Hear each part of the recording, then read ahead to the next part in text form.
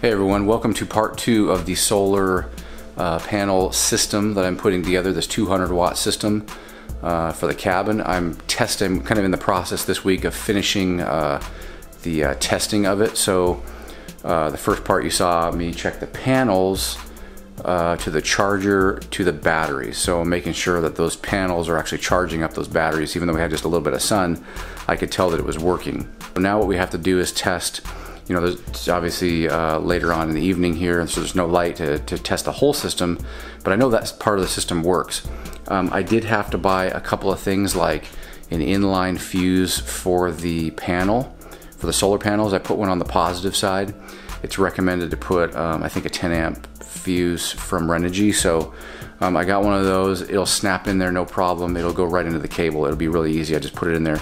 So if there's any shorts from the uh, panel side down to the charger, it should, you know, it should pop the fuse. Little 10 amp, 10 amp fuse, not a big deal. And then um, I also picked up a 20 amp fuse. I mistakenly bought a 40 amp fuse because I thought I thought I bought the uh, 40 amp charger, but I got a 20 amp charger. Really need a 20 amp fuse. Um, I'll just save that other one just in case something pops and I have to use something. But I, I ended up getting another 20 amp inline fuse um, for the charger side. So if that circuit fails, um, that'll pop. Uh, won't hopefully won't destroy the charger if something shorts out there. I also had to pick up a 150 amp fuse for the inverter side. So I'm going to show you that in a minute because I have that hooked up. So what I'm going to do right now is test out the system from the battery bank. I have both batteries hooked up now um, all the way to the inverter. I'm to test that system just to make sure everything is working on that end. Um, so I'll show you what I've got going here. I didn't I didn't film every bit of you know me putting you know uh, everything together. I'll show you how it's done. It's really really pretty simple so far.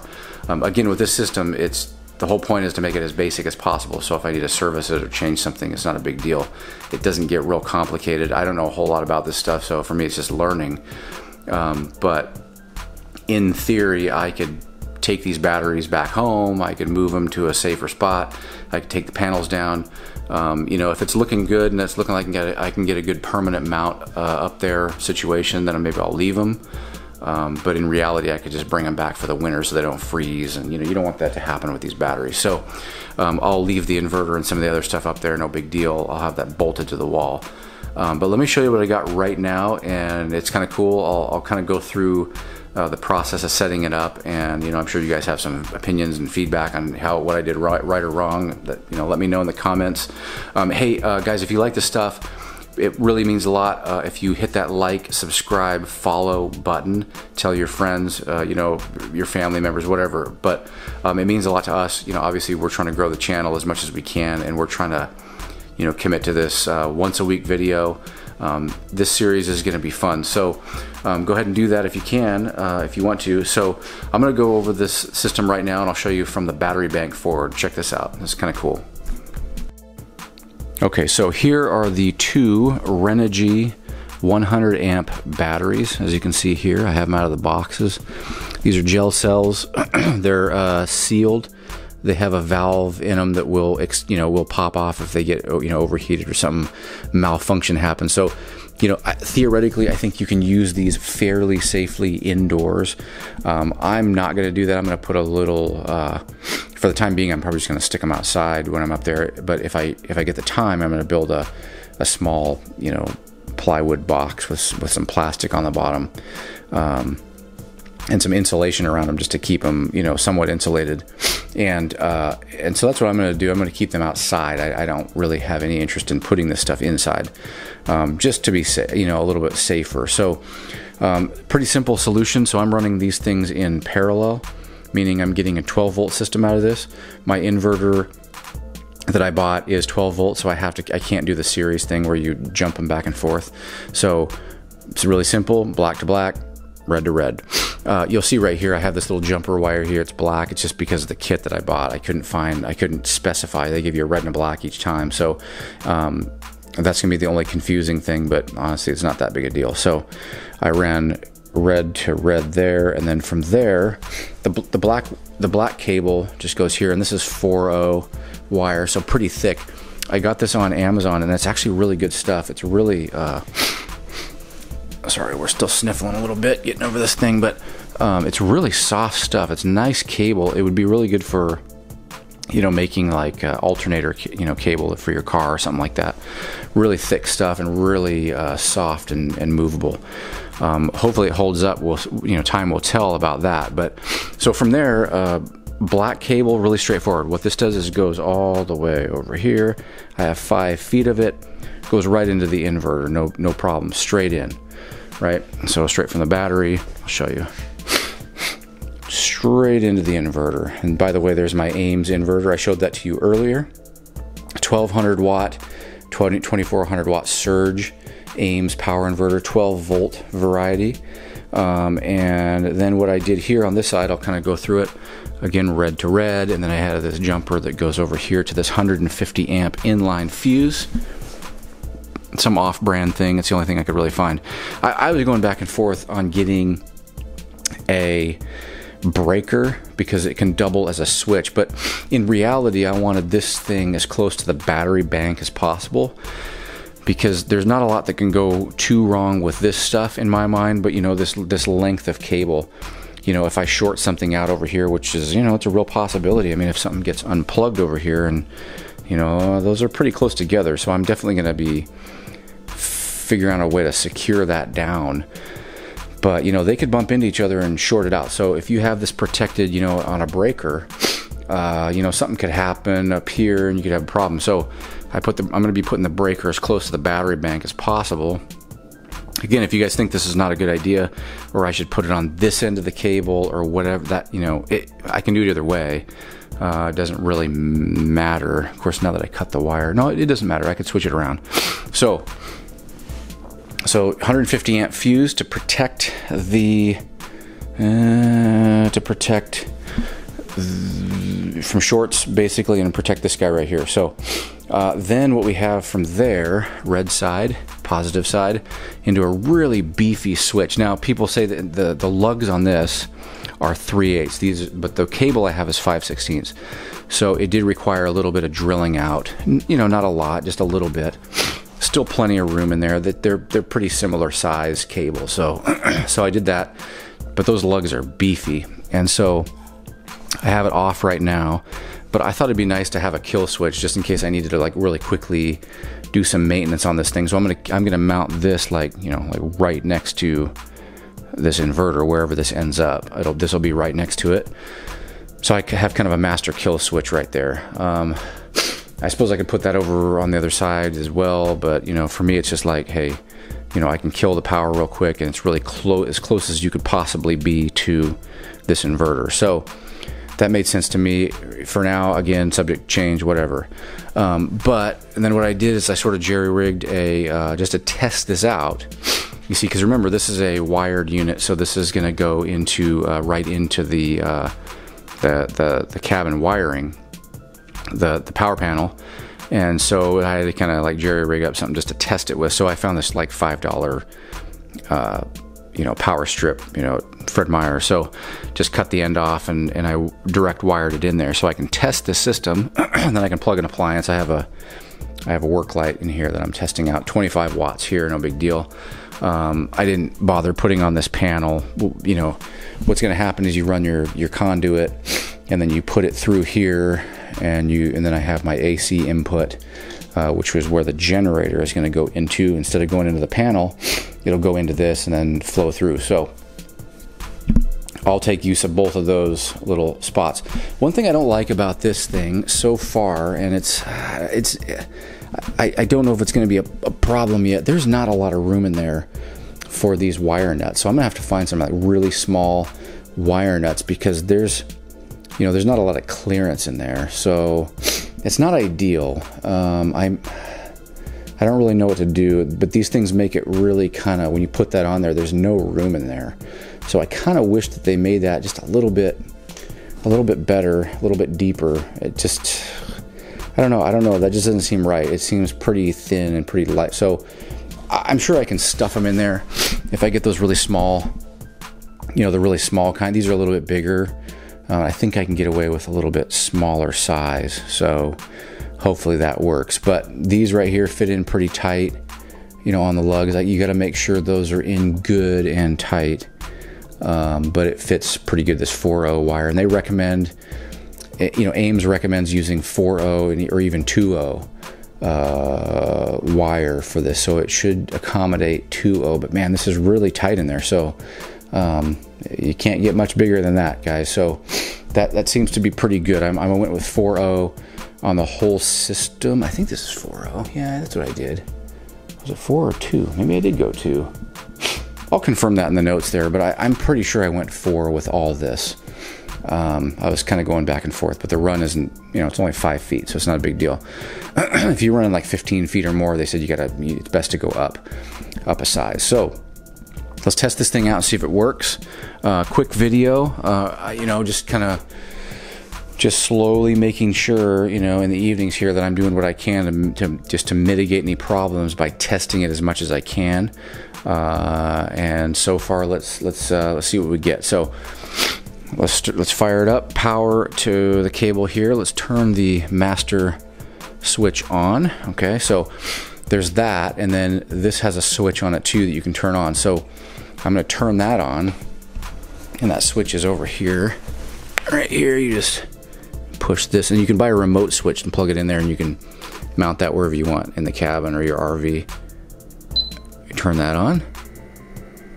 Now, that's on. So people have noted that these do make some noise, slightly unpleasant. That's true. Um, and I was expecting that, so I'm not real surprised.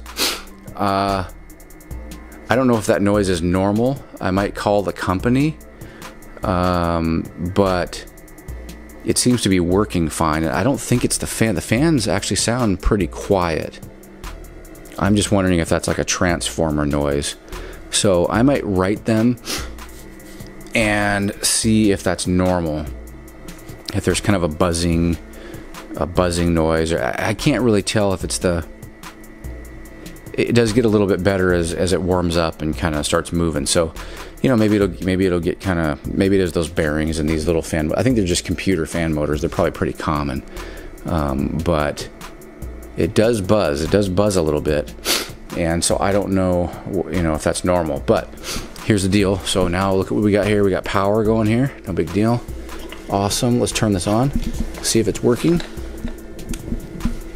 All right. Check it out the little system's working. Uh, the other thing I might do is put this, not right now, I don't have the time to do it, but I may end up building a little, you know, a little shelving unit, micro sort of shed on the outside of the cabin where I just, instead of taking this thing and putting it on the inside, I'll just put it on the, directly on the outside of the cabin, right, you know, kind of in the same spot. That should be fine. Um, and then I wouldn't hear it really at all. It'd just be outside, insulated away from the the uh, you know the inside of the cabin. So I may end up doing that at a later date. But see, it's starting to kind of quiet down a little bit. Fans are spooling up just a little bit. It's got to cool everything, so it's not too bad. But what I'm thinking is, I'm going to run like an emergency light. I think there's a load center, uh, a load.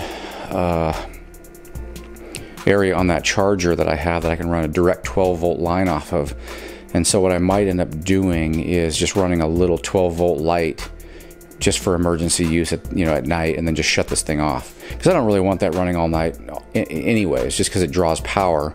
And so there's no need to really keep that on keep that on at night unless you're using power turning lights on. But it's super easy to turn on and off and just go turn it on you know and then you got power. So um, at night I just shut the thing off and keep it quiet anyways but it's not too bad it, it is it does make some noise so um, but hey for it's you know it's under $200 for that thing and it's still I think a pretty good value if it does seem if it does show that it you know if it does end up holding up, you know, over time, then that's a good value. If it fails right away, well, okay. But apparently AIMS has a pretty darn good reputation for customer service. So we may have to put that to the test. I don't know. But that is the system. Pretty straightforward, guys. Uh, power from the battery over to the inverter, over to the power strip, powering that light and that's 25 watts so this goes up to 1200 should have plenty of power for that little cabin just a few lights and uh, that should last for you know several hours or whatever but um, yeah it's going to be interesting to see how long you know how long these batteries last you know can we actually make use of that stuff at night and do they charge up in the day? That's that's my biggest curiosity. So the other thing I picked up uh, in case you're curious is well, here's that inline here's that inline fuse for the um, for the panels 10 10 amp. I also picked up 20 more feet of uh, solar panel cable just in case I need it because I realize there's a lot of you know, loss over over length. But this is a 12 a 24 volt uh, system so it shouldn't be too much loss. And I may just need this for length. I may need to put these on the other side of the cabin where there's a lot of sun.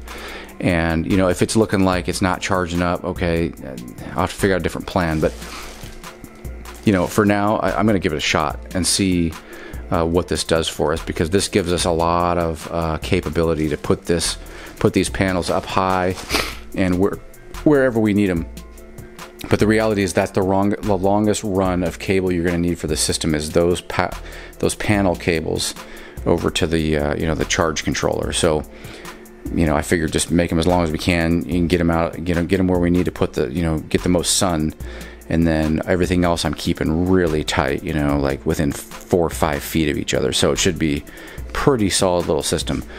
Um, but that'll give us a little bit more capability to put those panels up high. And if we get them up high and mounted good, I'll just leave them up there, no big deal. And uh, that should be pretty cool. So that is where we are at right now. I'm trying to think of, I think we're really pretty much good to go at this point as far as this little system. Um, uh, maybe I'll fabricate up something for this for this uh, these batteries over over the weekend. But we don't have a whole lot of room. We're gonna we're not gonna bring the trailer. We're just gonna put these in the in the car and bring them up. So I don't have a whole lot of room to carry extra things. Um, I could use I could like modify that old crate and fit them in there. That'd be kind of cool. I don't know. I don't know what I'm gonna do yet with that, but uh, we'll cross that bridge when we come to it. I'll have time to build next week. So that's where we are at. I'm trying to think if there's anything else, and that's pretty much it. That's pretty exciting to me. I mean, it seems simple, but it's pretty cool. Okay, guys, hope you enjoyed it. Uh, pretty simple. Just want to show you the, the process of it. Obviously, the exciting stuff is going to be, you know, when we start putting this in the cabin. That's what I'm looking forward to. Um, I don't have everything worked out in my mind. Again, the battery box that I'm going to build or buy or, or you know, do I maybe I've heard of some people just putting them in simple uh, plastic coolers and that's insulation and then just vent, venting it a little bit. Um, don't know what I'm gonna do yet with that. Um, I may end up just setting them outside and putting them on a piece of plywood for the time being and then, um, you know, once I get there, figure out kind of what I need. They do need to be, you know, waterproof and all that and vented the correct way. So, um, yeah, there's some there's some open-ended things I don't quite yet uh, know what I'm gonna do, but I'm pretty excited. This is pretty this is pretty cool so far. Um, everything so far looks like it's working. The inverter's still clicking away here, still buzzing a, a bit. You know, it's a little noisy. That's not exactly awesome, but you know, hey, it's a cheaper one and uh, it should be fine. I think it'll work for our purposes. I hope you guys liked it. Uh, follow on along with the series. Obviously, I'm I can't wait to get it put in the cabin. That's the real exciting thing for me, but um, I'm learning as I go, kind of setting things up, and it's helping me sort of understand the system. Um, as simple as it is, I really I've never done this before, so I'm just like learning as I go. So, hope you guys enjoy the series. Um, I will talk to you on the next one. I'll see you later, guys.